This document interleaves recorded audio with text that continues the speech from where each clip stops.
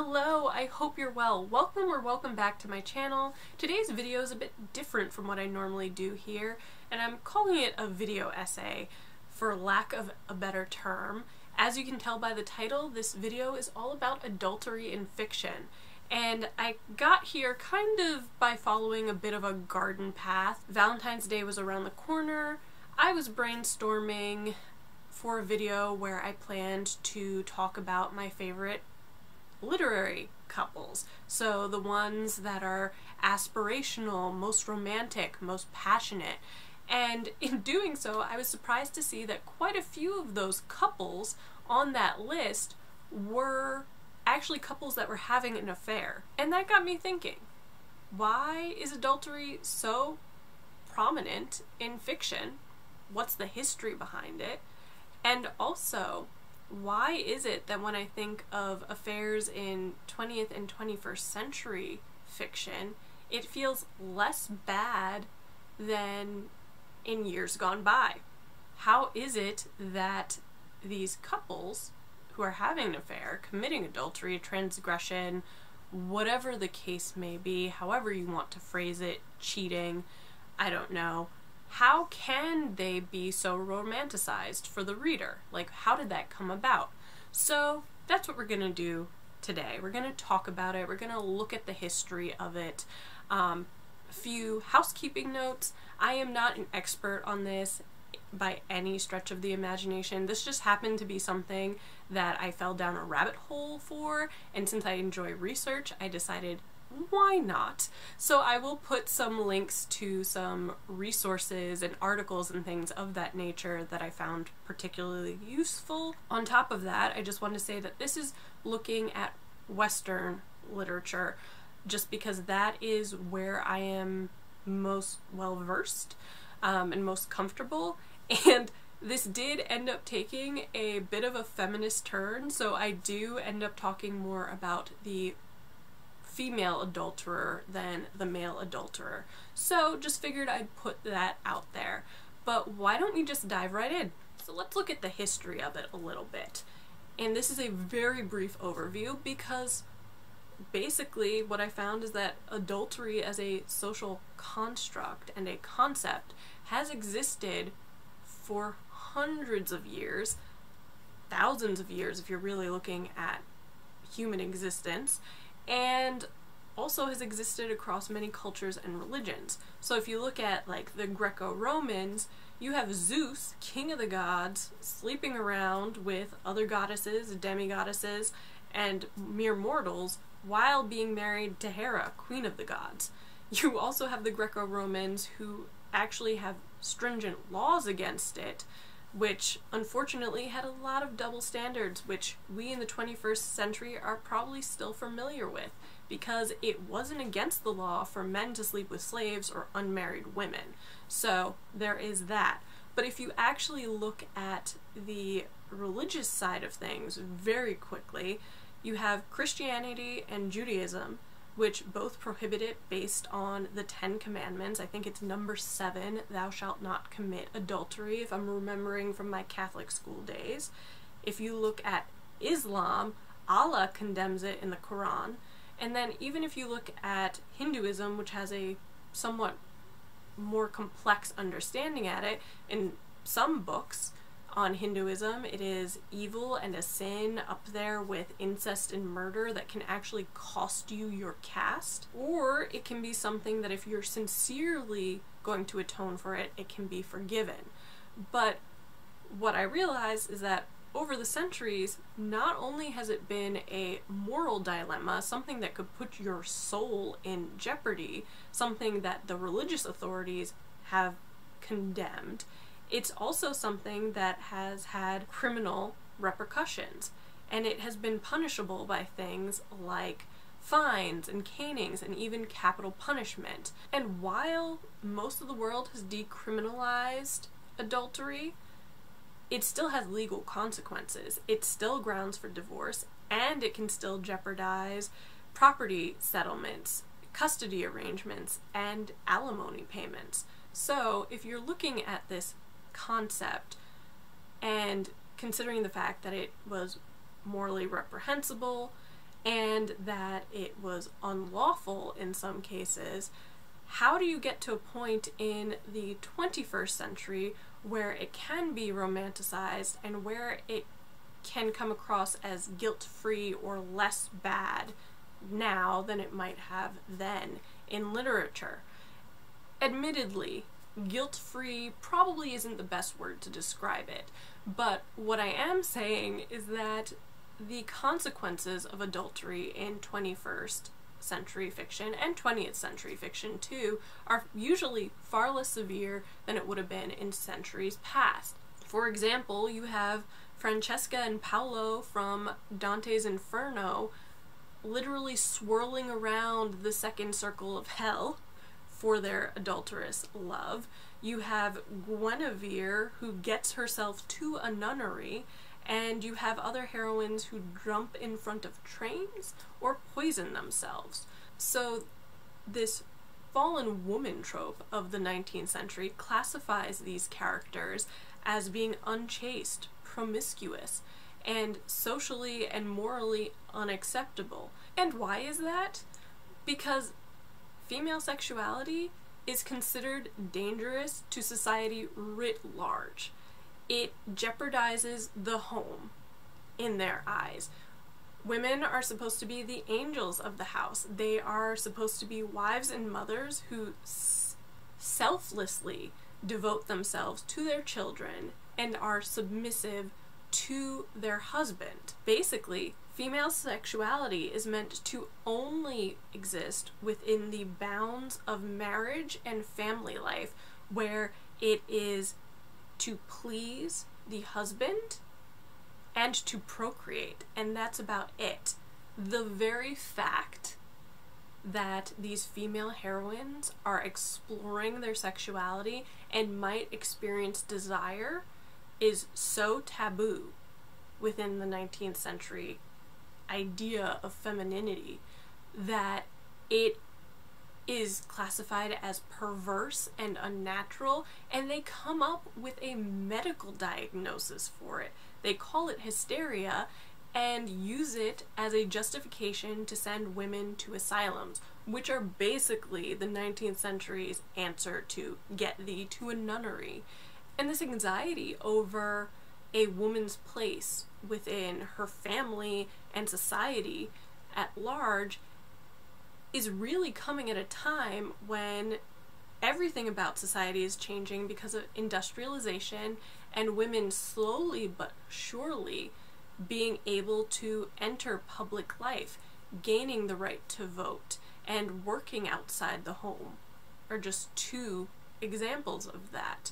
But what I find really interesting is that these sexually liberated women having affairs are often described as being free thinkers or feminist, which is a dirty word in a Victorian man's vocabulary, and to be honest, some 21st century men's vocabularies too.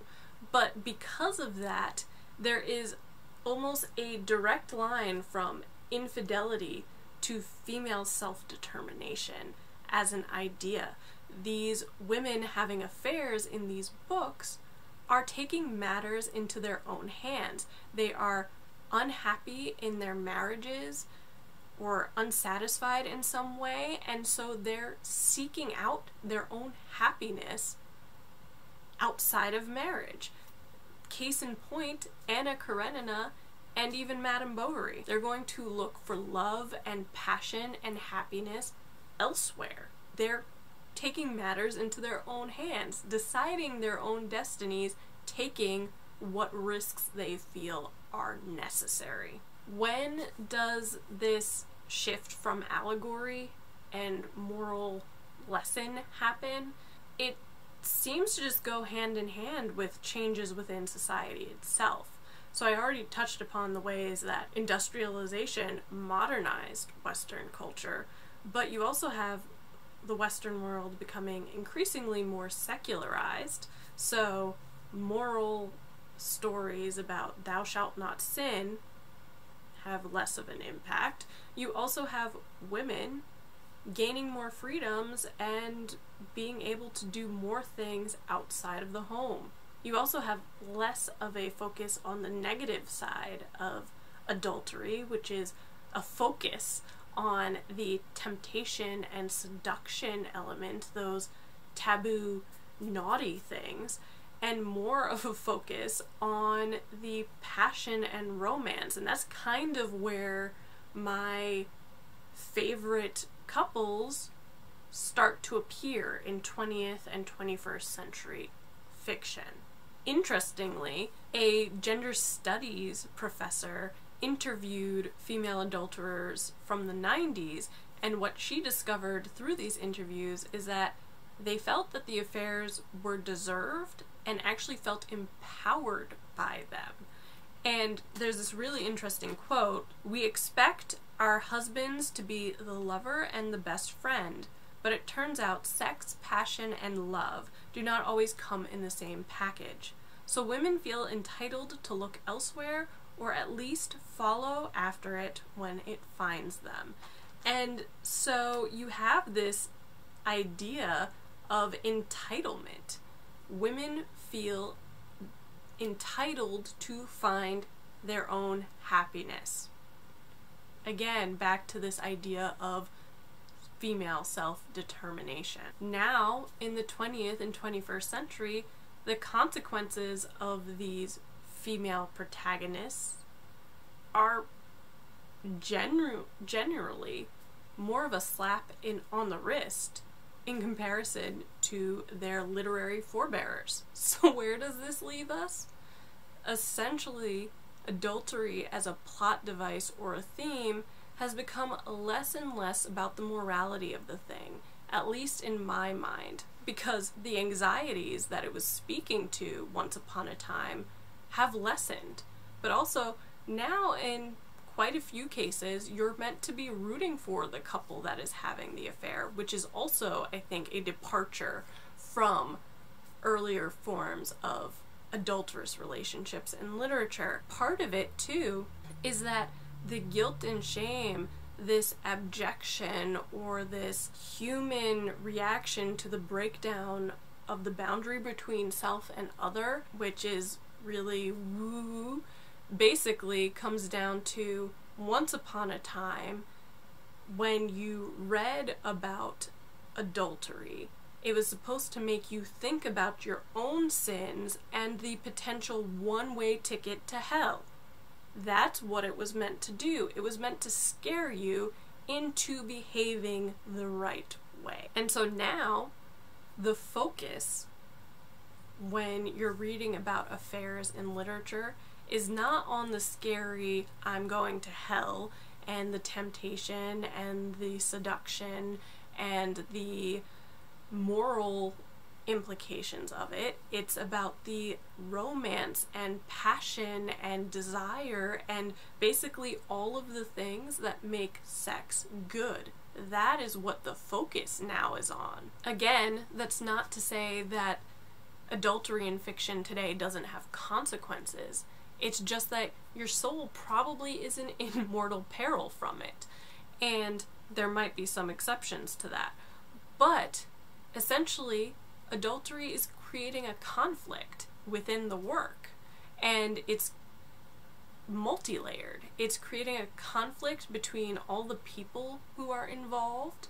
So, the people having an affair, their spouses or significant others, their families. It's creating a conflict between this idea of duty or loyalty and desire.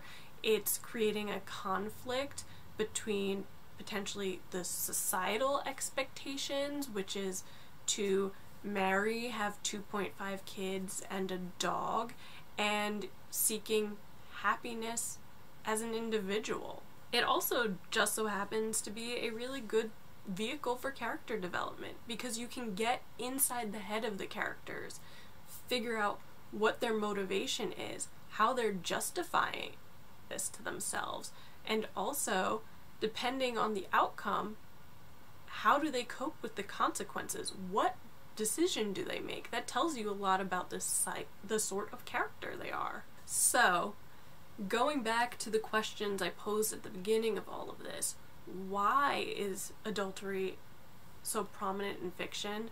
The simple answer is really that adultery is pervasive. The concept of it has probably existed for almost as long as the concept of marriage, and it goes across multiple cultures, societies, and religions. So, in that way, it is fairly relatable. But you also have the fact that over the centuries, adultery has been used to teach lessons, to create boundaries, and to speak to anxieties that existed at that given time about sexuality and about what the home life, a good, solid home life, is meant to be. And now, the idea of family, the idea of sexuality has continued to evolve and change, and maybe adultery isn't seen as such a big threat as it once was. So, while although that has happened, you still have this theme that speaks to the emotional state of its characters and creates conflict and drama and let's be real, sex sells. So, why is it prominent? I think that has honestly changed over the years. At one point, you were preaching, you were looking for a moral truth.